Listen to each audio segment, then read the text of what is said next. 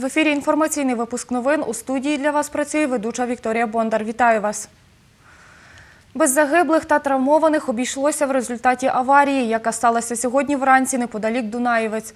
Про це повідомляє керівник прес-служби обласної поліції Інна Глега, посилаючись на інформацію слідчо-оперативної групи Дунаєвецького відділу поліції, які працювали на місці ДТП. Нагадаю, за словами нашого кореспондента Світлани Поробок, котра стала очевидцем аварії, одна фура з'їхала в кювет і зіштовхнулись два легковики. А трохи далі знаходилася ще одна пошкоджена автівка. Подробиці ДТП у поліції не повідомляють.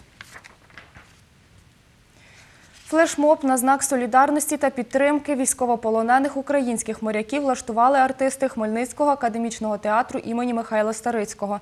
Розповідає директор театру Андрій Ковальчук. Каже, актори вийшли на сцену по завершенню вистави з транспарантами, на яких написали Сергій Цибізов ти з нами. Нагадаю, 24 українських моряків, у тому числі шепетівчанина Сергія Цибізова, російські силовики взяли в полон 25 листопада, коли ті виходили з Керченської протоки. Усім військовополоненим українським морякам продовжили термін тримання під вартою до 24 квітня.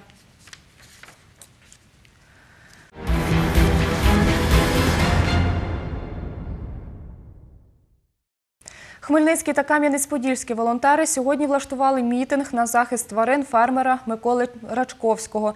Повідомляє волонтерка Хмельницької громадської організації Врятуй життя Анастасія Березюк. За її словами, акцію зоозахисники провели в Кам'янці-Подільському о 13-й годині. Нагадаю, волонтери зоозахисних організацій відвідали ферму Миколи Рачковського в селі Кам'янка Кам'янець-Подільського району, де, за їх словами, господар жорстоко поводиться з кіньми та іншими тваринами. Причиною візиту, каже Анастасія Березюк, стала смерть коня на фермі.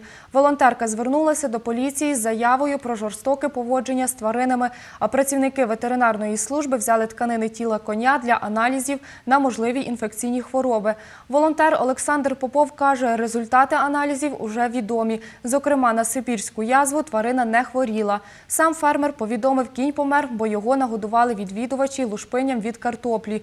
Волонтери хочуть вилучити з ферми всіх тварин, які там перебувають, каже Анастасія Березюк.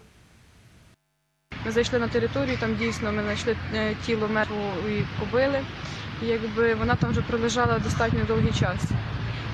Зайшли на територію, там все закинуто, там все хламом, там не назвеш це ферма, не назвеш це якісь конюшня, це все збито з досок, там немає просто ні умов, нічого. Знайшли ми потім пізніше корову, теж у жахливому стані, там кістки і шкура. Викликали поліцію, приїхав патруль.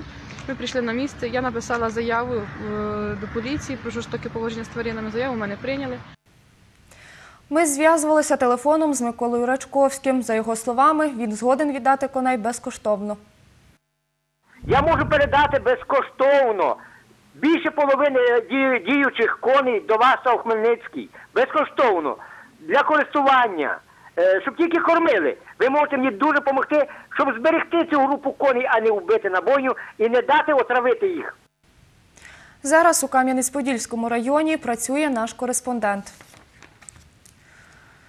Інформаційні ID-картки легальний перевізник від сьогодні почнуть встановлювати у маршрутних автобусах міста Кам'янець-Подільський. Про це розповідає заступник міського голови міста Сергій Бабій. Каже, відсканувавши QR-код, на карті пасажири зможуть дізнатись дані про водія, стан автомобіля та залишити відгук про поїздку. Відразу у тебе на телефоні появляються повністю всі дані. Що це за автомобіль, чи він легалізований, яка ліцензія, як прізвище цього водія, і повністю, повністю вся вся його інформація. А також нижче написано телефон чергової служби міста, куди ти можеш звернутися. Там же можна написати просто звернутися, і ми получимо, як міська влада, получимо цей лист. За словами Сергія Бабія, розміщуватимуть картку у всіх 208 маршрутних автобусах міста. Роботи планують завершити через два тижні. Театралізоване дійство, присвячене подіям російсько-української війни, готують у Хмельницькому.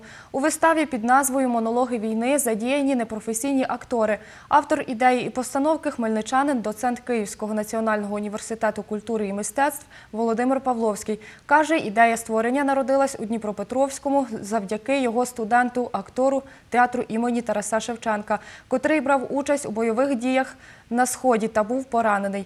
За словами Володимира Павловського, разом вони вирішили відтворити на сцені тему цінностей, які допоможуть людям пережити воєнні часи.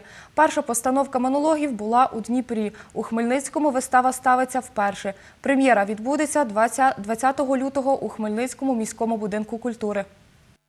Я подумав, що це треба зробити тут. Це така патріотична проблема, яка йде від болі режисера. Це байдужість в суспільстві. Не всі живуть цим, цією війною і цією бідою. Я вирішив тут поставити в нашому Хмельницькому. Але це більш е, така масштабніша вже тема. Це будуть брати участь п'ять воїнів і, і один волонтер. Міжнародний проект із назвою Бірючий нео шаманізм сила ритуалу сьогодні презентують у Хмельницькому обласному художньому музеї. Про це повідомила директорка музею Ольга Долінська. За її словами, міжнародному симпозіуму сучасного мистецтва Бірючий вже більше 10 років. Відкриття виставки відбудеться сьогодні о 18-й годині. Ця виставка під назвою Неошаманізм сила ритуалу один із таких. Це мультимедійний проект з глибокими змістовними творами, які було створено на півострові Бірючий у вересні 2018 року. Його учасники із Києва, Харкова, Запоріжжя, Львова, Ужгорода, Миколаєва. Куратором є Наталія Філоненко із Ванкувера, Канада.